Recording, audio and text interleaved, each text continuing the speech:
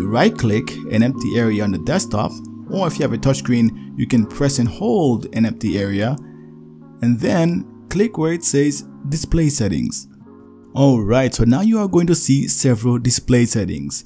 Uh, go to where it says scale and layout. Now you'll notice the description for this section is change the size of text, apps, and other items. Essentially everything. So this will make everything bigger on your screen. So now go ahead and click this drop down menu right here and as you can see you have several values to choose from. Now of course if you choose a higher value everything will appear bigger so the higher the value the bigger everything will appear. So go ahead and choose the value that is right for you. After choosing a value you'll notice that everything is in fact bigger. Now if it's too big you can go back and make it smaller and if it's still too small for you you can still go back and make it even bigger than that. Now to finalize everything, to make sure that these changes are registered in all of the apps, go ahead and restart your PC.